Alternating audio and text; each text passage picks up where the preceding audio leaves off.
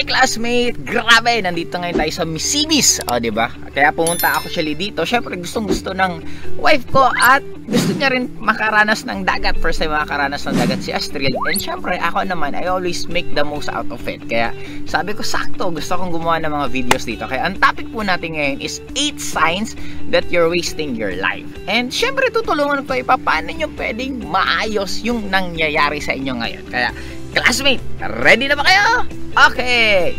Number one is nothing seems fun anymore. And totoong totoo yan kasi habang tumatanda tayo, habang nagkakaedad tayo, mas sobrang mahirap na mahirap na tayo maging masaya. And even ako personally, I, I experience it kasi alam ko, ang iba sa inyong iniisip na grabe, napaka-perfect ng life ko, lahat ng gusto kong bilhin, asa, pwede kong bilhin, lahat ng gusto kong lugar na puntahan, pwede kong puntahan. But end of the day, umabot din ako sa point na nagtatanong sa sarili ko kasi sabi ko, bakit kung kailan nung nagsisimula ako, kung kailan halos hindi ko kayang bilhin ng lahat, but parang sobrang dami kong masasayang moment. Masaya ako nung um, first time akong kumita kahit maliit, isang libo, dalawang libo, masaya na ako. First time makapunta sa isang mall na magaganda, first time maka-check-in sa isang hotel na maganda, makapunta sa resort na maganda. Grabe ng excitement ko. But dumating ako sa point na sabi ko kung kailan pa kaya kong bilhin lahat, kaya kong makapunta kung saan saan man ako gustong pumunta. But bakit para ang liit-liit na lang ng happiness ko? But hindi na masyado akong kinikilig dati nung bago pa ako nasa networking. Naalala ko before, may tirang ulam lang yung kaibigan ko. Ang saya na namin kasi may pulutan na kami.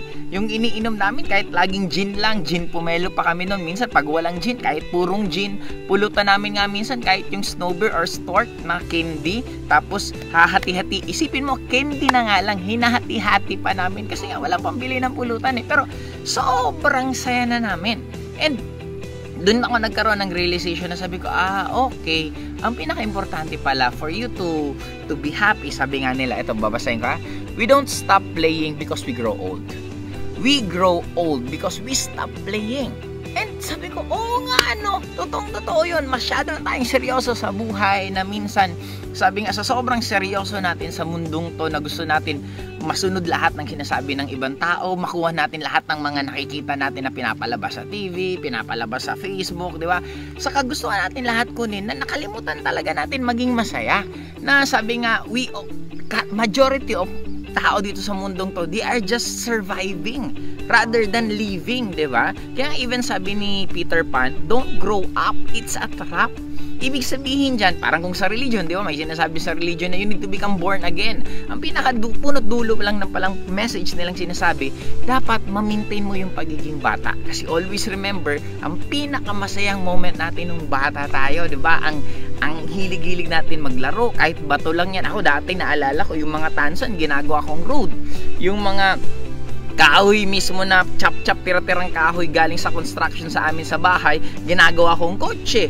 Diba just imagine that kind of happiness na even ako nakikita ko yun sa anak ko na yung anak ko mas masaya siya minsan pagkagakit niya yung charger kuha-kuha nyo yung tissue, inisa-isa niya, maya-maya basura yung bit-bit niya, na tayo lang naman pala ang nagbigay kasi ng mga value ng bagay na nagpapalungkot sa atin. Akala natin pag ang cellphone is just Oppo or yung mga hindi sikat na cellphone, akala mo oh, malungkot ka na, masaya yung ibang tao na naka-iPhone, akala mo yung mga taong oh, may kotse, tapos ikaw nagko-commit, akala mo perfect ang life na, but actually it's not lahat ng tao magmayaman, magmahirap, may mga moment na masaya sila, may mga moment na malungkot sila. Kaya ang tip ko sa inyo, pinaka last, okay?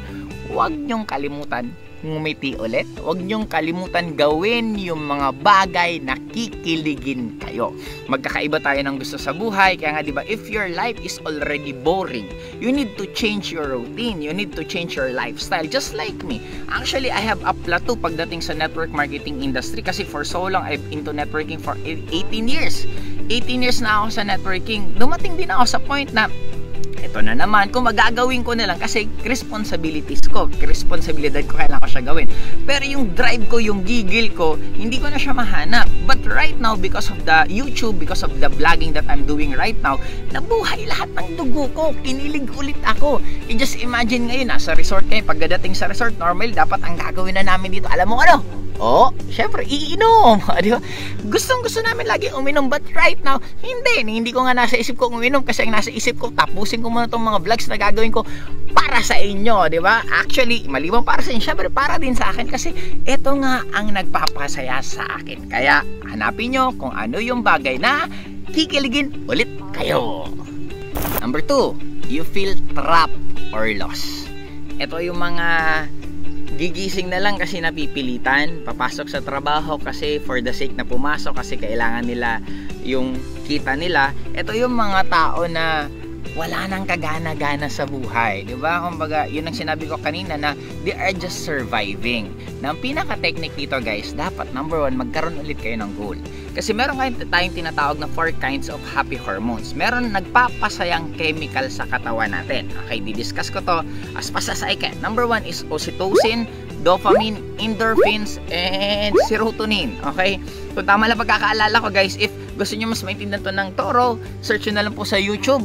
Okay, search nyo sa isa Google for um, happy hormones. Number one is dopamine. Ang dopamine napaka-importante siya kasi the moment nagkakaroon ka ng goal, take note ha, nagkakaroon ka pa lang ng goal, meron ng trigger sa katawan mo na nagiging masaya ka. Ito yung, yung feeling na, alam mo, gusto mo magkaroon ng cellphone, yung iniisip mo pa lang kung paano ka magkakaroon ng cellphone, you already feel good. Take note, hindi mo pa nakakuha yung cellphone mo. Masaya ka na Okay, ang ibig sabihin niyang dopamine is nagpapasaya siya pag nagkakaroon ka ng gustong kunin sa buhay. Kaya, hindi pala kailangan ng pera. Hindi kailangan magkaroon ka ng maraming pera or kahit kasingkong duling na pera para ka lang maging masaya. Magkaroon ka lang ng goal, magiging masaya ka na. Okay? Hindi ko na i-discuss yung ibang klaseng yung three kinds of happy hormones. Pwede nyo na pong i-search sa internet. Basta ang pinaka-point ko, pag the moment na lolos ka na at hindi mo na alam yung gagawin mo, pause, tigil ka muna, magkaroon ka ng me time, ng silent moment sa life mo, ask yourself, ito yung time na kausapin mo sarili mo, ito yung time na tanongin mo, ano ba talaga gusto mo? Kasi naiintindihan kita why sometimes we feel lost. Kasi nga, sinusunod natin lahat ng gusto ng ibang tao, eh ang lahat ng tao, iba't ibang opinion. Walang taong halos lahat parareho ng gusto. Ito ang malupit dyan. Pag pinakinggan mo lahat, maguguluhan ka talaga. Kaya ang pinakasekreto ng life, pansinin mo. Nasaan ba akong lugar ngayon? Nandito ako sa Misibis walang katao-tao. Halos kami lang. Kukonting-konting-konti lang. Laki-laki nito. Ang konti. Tingnan mo. Tingnan mo. Pakita ko lang konti. Oh, ayan. Ayan. Ayan kasama ko mag-video. Tingnan mo. Gaano ka konti. Oh, di ba? Oh. Ganun lang ka konti dito. Bakit? Kasi guys, ang mga lugar na maiingay, magugulo, yan ang lugar ng hindi ganun may makaya. Di ba? Parang Boracay. Kung mapunta po kayo sa Boracay, may tinatawag na um, Station 1, Station 2, Station 3. Ang Station 2, Station 3, siya yung pinaka maiingay. Siya, mga party pips na nandun. Kung gusto mong uminom magulo, dun ka pupunta. Station 2, Station 3. Pero kung gusto mong tahimik, punta ka ng Station 1. Kaya lang ang Station 1, mga mahal lang hotel. Nandun ang Shangri-La, nandun yung mga iba't ibang klaseng napakasikat na hotel. Bakit? Kasi nga sa totoo lang, ang mga mayaman gusto nila mga tahimik. Okay? Gusto nila mga tahimik kasi yun ang moment na mas naririnig nila yung mga gusto nilang maringgan or mas nahuhulog mga ideas na gusto nilang malaman. Biyong ka example, What is the difference between praying and meditation? Ang meditation, natag lang siya na black magic, natag lang siya na pangit, pero actually hindi. Ang pagkakaiba lang ng dalawa, ang praying, you are saying to God what you want. Okay, nagdadasal ka, Lord, sana ganito, sana ganito, salamat kay ganito. That is praying. Ang meditation, you are silencing yourself and listening sa message ni God. Ibig sabihin, ang praying, you are saying what you want. Ang meditation, you are listening to what God wants para sa iyo. Okay, kaya napaka-importante. Oh, kung nandun ka, you feel lost at hindi mo na alam kung anong gusto mo sa buhay mo, magkaroon ka ng silent moment sa life mo as long as you can. Mas napakaganda yan. As long as you can. Kung kaya mo everyday you have a silent moment sa life mo, much better. Okay, Dax? Number 3, okay? You always feel tired. Lagi kang pagod lagi kang walang gana. Okay? Now, anong pinaka-bottom line, guys? Alam mo ba, kung maaalala nyo, nung panahon na na-inlove ka, diba? Nung panahon na na-inlove ka, sa aming mga guys, walang malayo. Kahit gaano kalayo magpapasundo yung nililigawan mo or yung girlfriend mo, malapit yan kahit gaano katagal, mabilis lang yan. Di ba naaalala nyo nung nag-aaral tayo? Pag pumasok ka sa favorite subject mo, ang bilis matapos. Yung pag upo mo pa lang, ay, time na, tapos na. Pero pag pumasok ka naman dun sa pinaka-hate mong subject, ang tagal matapos, di ba? Sobrang tagal na. Grabe naman, tagal pa mag-time, ang tagal naman matapos si madam. That is the secret of life. Kaya ka lang laging pagod at walang gana kasi you don't love what you do. Kaya, what's stopping you to change what you're doing right now para gawin mo yung mga bagay na masaya ka para lagi kang may lakas. Kahit kulang ka sa tulog malakas na malakas ka. Kahit hindi ka kumakain kaya mong gawin yon kasi kung maaalala nyo lahat ng pinaka-successful even Beyonce may isang video si Beyonce na dumating sa point almost 2 to 3 days. Halos wala siyang tulog halos wala siyang kain. Why? kasi gumagawa siya ng nag-aareglo siya ng kanta niya, nag-aayos siya ng concert niya, and it's very true. Kasi even me, I personally experience it. The moment I do, I, I really love networking. Networking is my passion, kumbaga sa life ko. Kaya even biyahe dito, biyahe doon, salita dito, salita doon, never man lang nakarinig sa akin lahat ng kasamahan ko na nakakapagod, grabe naman tong ginagawa natin. I don't ever say that because I love what I do. And alam naman natin at babalik tayo pag in love ka sa isang tao, walang nakakapagod, walang mahaba, walang malayo, 'di ba? Kaya you should learn to be in love again. And number 4, okay, number 4 natin, you don't have a purpose. Napaka-importante 'yon kasi ang purpose, babalik po tayo dun sa isa, kung meron tinatawag tayong um, ano tawag yan, meron tayo tayong dopamine, meron din tayong tinatawag na serotonin. Ang serotonin, dapat meron kang purpose, dapat you belong. Di ba, you belong kung nasaan kang iba yung pakiramdam na parang ako naalala ko may isang kasamaan si Tanya. Ang ang battle cry niya sa networking niya is sinasabi niya na girl power. This is the time na i-uplift di ba? I-uplift mismo yung mga um, karapatan ng babae na dapat ang babae hindi lang mababa ang tingin dapat mataas yun ang battle cry niya Si Don Buddy naman, mga OFW na pauuwiin rather than yung OFW nag-work sa ibang bansa, gusto nila pauwi dito at dito na magtrabaho. At the same time, kikita ng malaki pero hindi na nila kailangan pang pumunta ng ibang bansa. Magkakaiba tayo kung anong pwedeng natin maging battle cry or purpose sa life. Now, parang sa akin right now, before ang purpose ko nung sa pag-network ko, syempre, gusto ko na mayroon isang Bicolano na makilala sa network marketing industry. Yun yung una kong battle kaya it happen. Sumunod naman gusto kong makilala sa buong Pilipinas ng network marketing and it happened. Sumunod naman gusto kong makilala sa buong mundo sa networking industry and it happened. Right now naman gusto ko naman makatawid. Makatawid naman hindi lang sa mga networking, mga networker people kung hindi makilala din ako even outside and it is all also happening right now. Yun yung purpose. Kaya napaka-importante na dapat magkaroon kayo ng purpose sa life nyo kasi the moment wala kang purpose, you will be uninspired. Hindi ka gaganahan, gumising, um, pag may gagawin ka na, tamad ka na kasi mangot ka palagi, yung energy mo mabigat. Kaya you need to be very clear. Sabi nga nila, we all want to change the world. But we forget that if you want to change the world, you just need to change yourselves. Sabi nga parang gusto mo bang mabawasan ang mahirap sa Pilipinas? O, tatanong kita, ulitin ko, gusto mo bang mabawasan ang mahirap sa Pilipinas? If your answer is yes, napakasimple lang. Magpakayaman ka. Kasi pag yumaman ka, may isang mahirap na nawala na napunta na sa kategory ng mayaman. Doon pa lang nakatulong ka na. Don't complicate things na hindi mo trabaho yung problema ng ibang tao. Hindi mo kailangan problemahin yung problema ng gobyerno, problema ng kapitbahay mo. Ayusin mo lang buhay mo. Just like what happened sa akin. Ako, nag-focus akong ayusin ko sarili ko. Nung inayos ko sarili ko, end of the day, nakatulong ako ng ibang tao. Ang dami kong natulungan right now, nakumita din ng malalaki.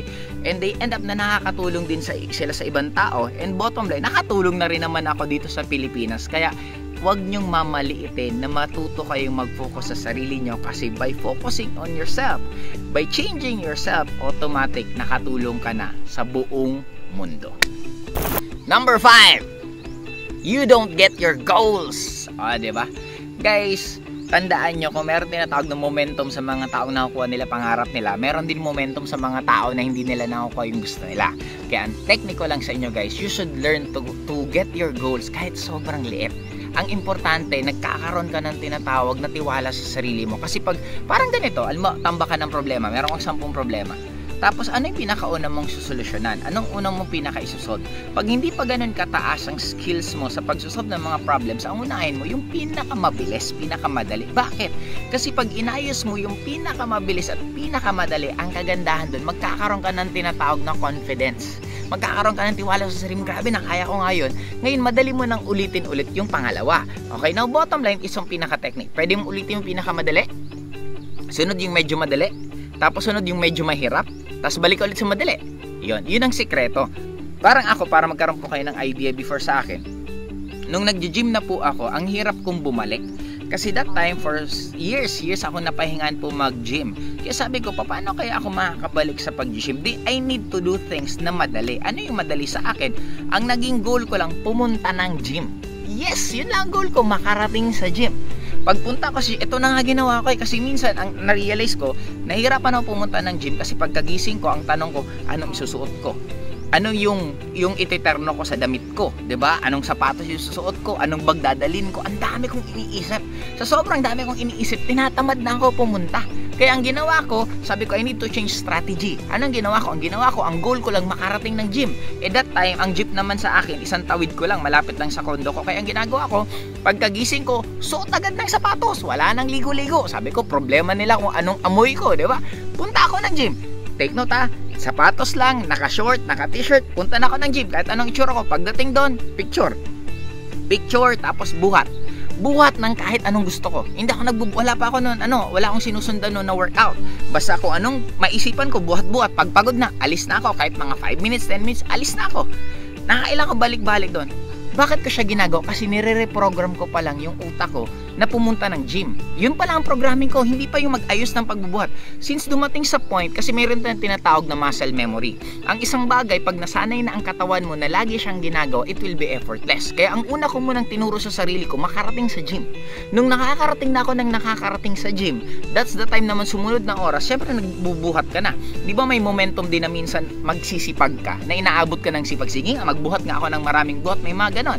Kaya that time, buhat ako. Buhat-buhat. Hanggang nung nasanay naman naman ulit ako, doon ako kumuha ng trainer ko. Kasi syempre siya magpupush sa akin sa comfort zone ko at meron akong sinusundan. Kaya right now, ngayon, hinahanap-hanap na ng katawan ko yung pag-gym. Parang hindi na kompleto ang buhay ko kung hindi ako nag-gym. Kaya ganun din sa inyo, start small. Kahit gaano man yan kaliit, ang importante, nagsimula ka. Gusto mo kapag-save ng pera, you don't need lots of money. Mag-save ka lang kahit 100 pesos, 200 pesos a month, okay na yon gusto mong magbago ang sarili mo, 'di ba? Gusto mong matuto magsalita. Example na lang ng English. O magsalita ka lang kahit mga 5 to 10 minutes ng English every day. Doon pa lang always remember this. Sabi nga nila, the thousand steps na journey will always start from one step. Okay, lahat nagsimula sa maliit. Kaya wag mong maliitin ang maliit kasi kung walang maliit, walang magiging malaki. Sabi nga nila, ang isang milyon kung kulang ng piso, hindi magiging isang milyon yan. Kaya sa inyo, simula ngayon, lakasan mo ulit loob mo. Sabihin mo, laban lang, classmate! And syempre, from number 6 natin, you find escapism in something that you know isn't doing you good long term. Okay? Now, ano yung point ko guys? Ako ganitong ganito ang principles ko sa life. Hindi po ako nag indulge sa any vices. Yes, umiinom po ako. Um, ano pa ba mga bisyo ko? Mahilig po maglaro ng computer games. Madami po. Madami mga vices din sa katawan ko. But end of the day, I don't do that the moment meron akong problema. Pag meron akong problema, matitigil talaga ako. Hindi ako magbibisyo mag-exercise ako mabuti, kakain ako ng mga healthy food, kasi haharapin ko siya always remember, ang, ang tingin ko sa problema, para siyang you're at war. Para ka nasa gera. Eh di ba pag mag, makikipaggera ka, you're going to be ready. Mag-ready ka ng lahat ng ammunition mo, lahat ng mga soldiers mo, lahat ng kailangan mo, i-ready mo para pinaka 100% yung galing nyo, yung tibay nyo. Para pagharap nyo dun sa kalaban nyo, talo nyo. Eh, how can you expect na, na haharapin mo yung problema mo kung you are full of vices, kumakain ka ng mga junk foods, nanonood ka ng mga unhealthy na mga pinapanood, paano ka haharap? Paano ka mananalo?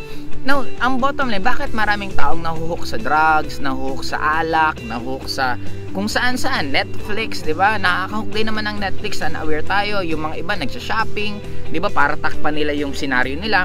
No, ang bottom line kasi dito, we find it attractive yung 30 minutes to 1 hour na escape natin sa reality. Kaya nga 'di ba? Even bakit ang tool puputok na putok? putok na putok ang Tulfo kasi marami daming taong nanonood kasi they are thinking na ah, maswerte pa rin pala ako sa buhay ko. Kasi yung buhay tuti mo yung mga taong to grabe ang worst ah, nag-aaway nagaganito ah maswerte pa rin pala ako. Nakakahanap tayo ng satisfaction doon. Bakit we, we, napakahilig natin sa entertainment? 'di ba putok na putok lalo sa YouTube. Sa YouTube grabe kasi ang dami ko rin sinusubaybay na ang gaganda ng content sobrang gaganda but I feel really sad. Kasi nga ang subs nila ang kukonti tapos makikita ko minsan yung mga ibang YouTuber. No offense po sa mga ibang YouTuber din po na ang content naman nila purely entertainment lang or purely minsan kalokohan. Pero sila yung pinakaputok 'di ba? Sila yung pinakamalakas. Kasi nga ang daming taong naghahanap ng entertainment. Now the question is why ibig sabihin kasi ang daming taong gustong tumakas ang daming taong gustong tumakas sa realidad nila na they are willing to to exchange their life para lang sa buhay ng ibang tao I'm going to ask you straight classmate at tanongin kita ngayon ikaw, gusto mo ba na ipagpalit mo ang buhay mo sa ibang tao? Then if your answer is yes, na-imagine mo ba gaano ka-worst buhay mo? Na-imagine mo ba na you are willing to trade off your life para sa ibang tao? Then you forget that you have a reason bakit ka nandito sa earth.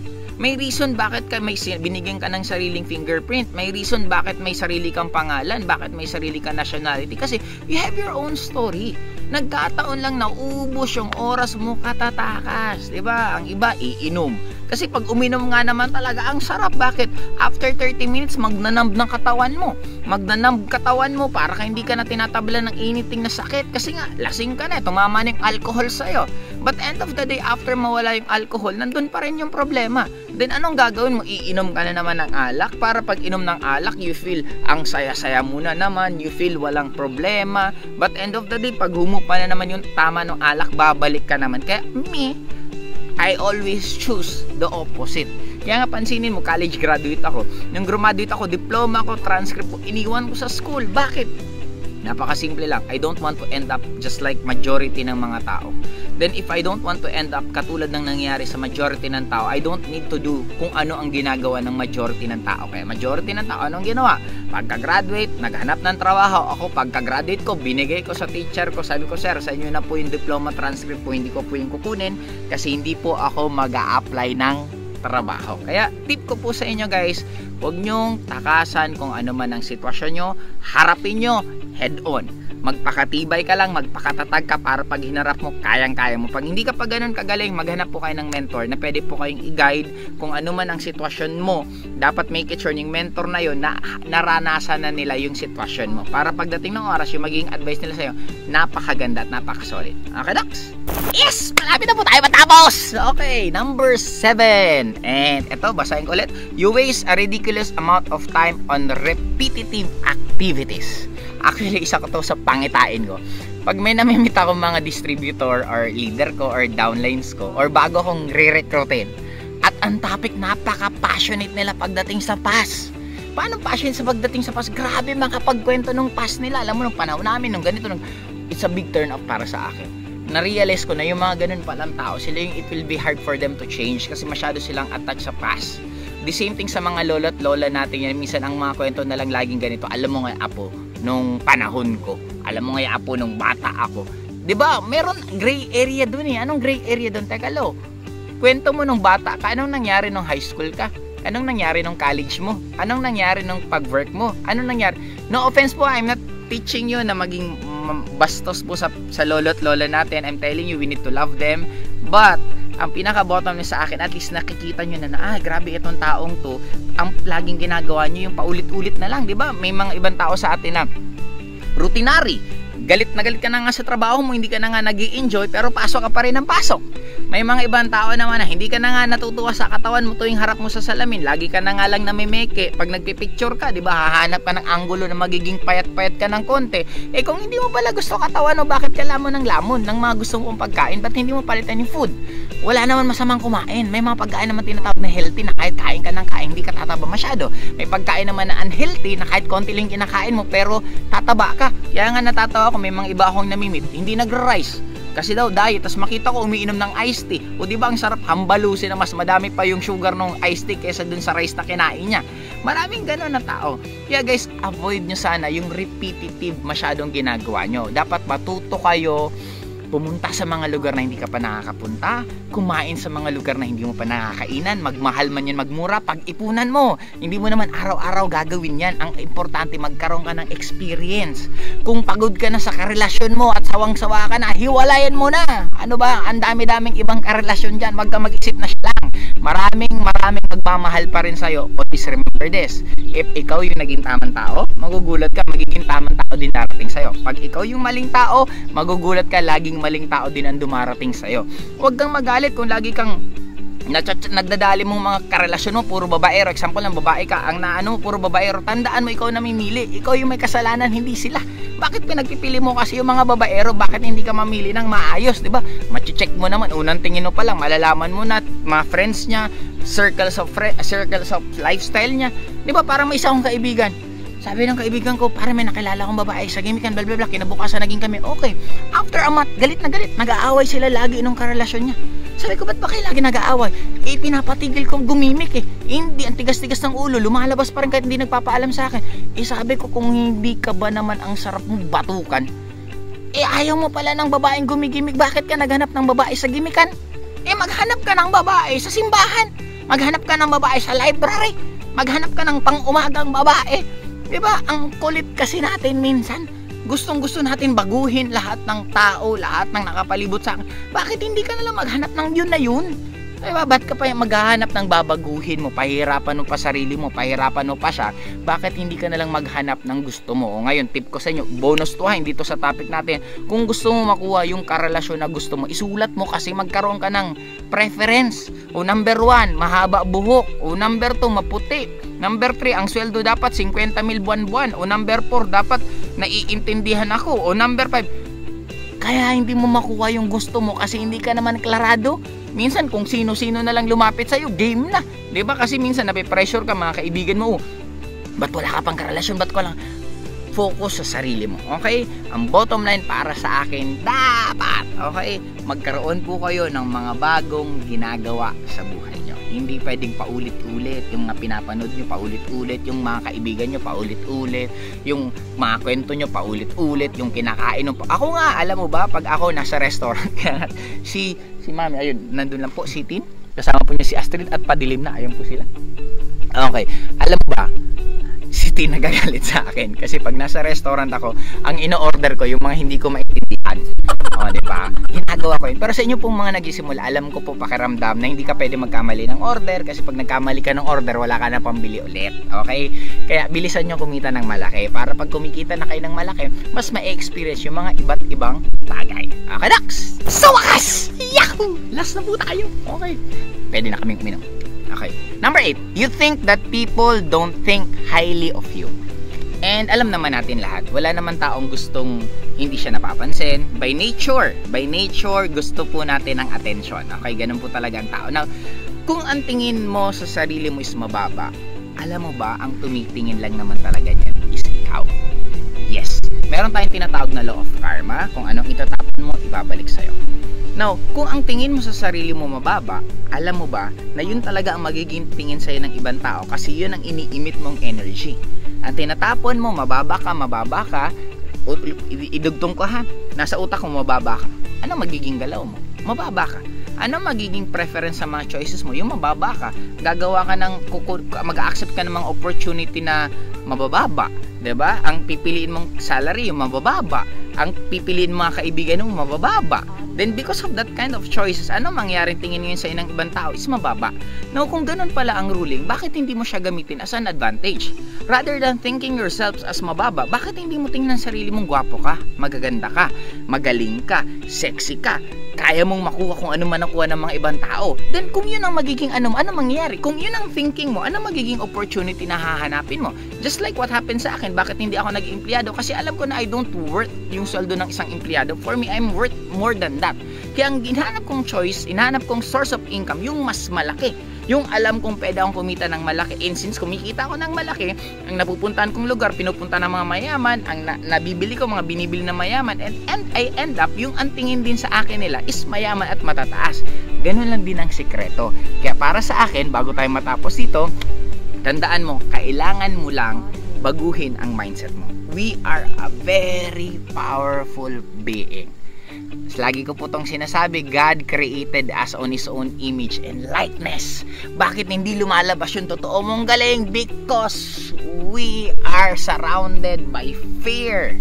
Takot tayo ano ang sasabihin ng iba, takot tayo anong sasabihin ng magulang natin, takot tayo anong mangyari sa future natin. Puro tayo takot, takot, takot.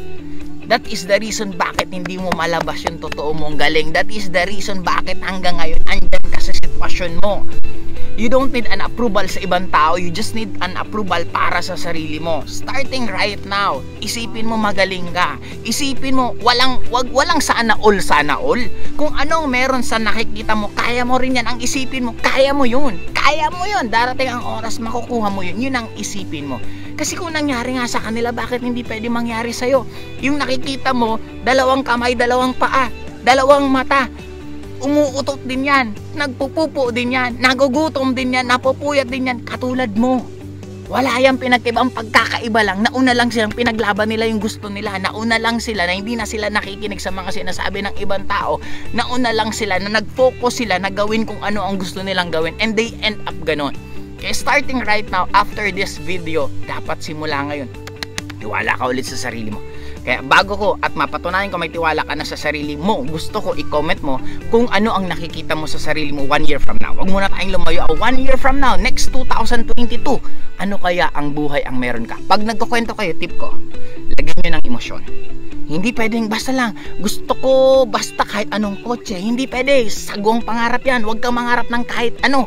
Kasi pag binigay sa'yo, paano kung ang kotseng binigay sa'yo, may kortina sa gilid, may banda sa likod. Gagamit ka ba ng kotseng yun? Siyempre hindi.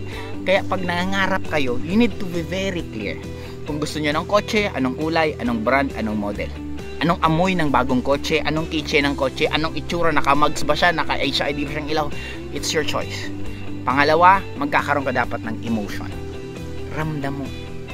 Nakikita mo habang dinadrive mo yung kotse, kita mo pag lumilingon ka, nakikita mo yung mga negative na mga tao na lumilingon sa'yo.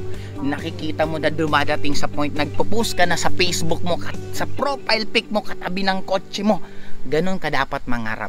Maliban sa binabanggit mo, maliban sa lagi mong iniisip, dapat ramdam na ramdam mo. Maliban sa nararamdaman mo, naaamoy mo amoy na amoy mo yung bango ng bagong kotse. Amoy na amoy mo na habang bumababa ka, kung ano ang amoy mo galing sa bahay, pagsakay mo ng kotse, pagpupunta mo sa pupuntahan mo, yung pa rin yung amoy mo. Kasi pag nagko-commute ka, ang ganda ng amoy mo paglabas mo ng bahay, pagpunta mo sa pupuntahan mo, hindi na maayos yung amoy mo. And lastly, be consistent dapat ang pangarap kung sa term na medyo malaswa dapat minagnanasaan pag sinabing pinagnanasaan, iniisip mo yan araw-araw, oras-oras, minu-minuto. Kahit bulatin ka, alam mo kung anong pangarap mo. Kahit masama pakiramdam mo, alam mo kung anong gusto mo. Kahit hindi mo na alam kung anong nangyayari, pero alam mo pa rin ang gusto mo. Ganun dapat ang pangarap. Ulitin ko, sinabi, ask and you shall receive. Seek and you will find. Knock and the door will be open. Ang sabi, Hingiin mo kasi. 'Di ba? Puro mo kasi hinihingi. Ano? Mahirap ang buhay, wala akong pera, buti pa sila may kotse, pinanganak kasi silang ganyan, inchik kasi sila, ang apelyido kasi nila maikli, singkit kasi sila. Ano ba naman yan? Kung ang basehan ng pagyaman is kulay, anong nangyari sa mga Bombay? Ang Bombay, ang lalaki ng mata, ang iitim pa. Pero bakit kumikita ng malaki? Ikaw kasi naubos na lang yung oras mo, kakapo na sa kanila. Di ba dati ang incheck pinagtatawanan na yung mga incheck nagbebenta ng kung ano-ano, nagbebenta ng taho, nagbe o dulo ngayon, anong nangyari? Sino nagbebenta ng taho? O di ba? Ngayon naman pinagtatawanan natin mga Bombay, tingnan mo nga ang babaho. Tingnan mo ngayon, pinagtatawanan pa natin yung mga Bombay, pero tingnan mo ngayon, sila may mga sariling bahay. Ngayon, kailan mo aayusin kwento mo? Kaya classmate, dapat after itong video to ha, gusto ko, i-comment mo yung pangarap mo sa 2022 at pagtulong-tulungan natin, makuha natin yan sa lahat ng yan. Again, ito lang gusto kong sabihin guys. This is Joseph Lim, classmate. Sobra pong salamat sa lahat po ng bagong subscriber sa akin. Huwag niyo pong kalimutan mag-notification kasi para updated po kayo palagi. At syempre mag-subscribe na rin po kayo para mas updated po kayo sa lahat ng mga videos ko. Okay, Docs? Kaya paano yan? Madilim na at umuulan na. Bye-bye!